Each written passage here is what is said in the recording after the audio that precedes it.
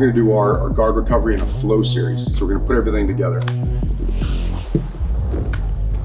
So start off with a hip switch. One, two, one, two. Okay, block. Scoop the hip out. Foot, switch, lock, switch the hips, recover. Now the Granby to the outside. One to the outside. Bring him in. Rocket launcher.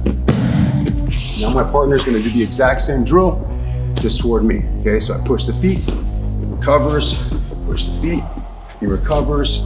Now we're going to go elbow escape, elbow escape. Now we're to go Granby.